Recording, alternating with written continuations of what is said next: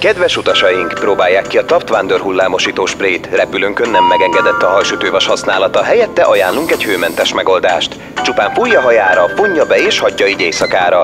És ébredjen csodás hullámos fürtökkel.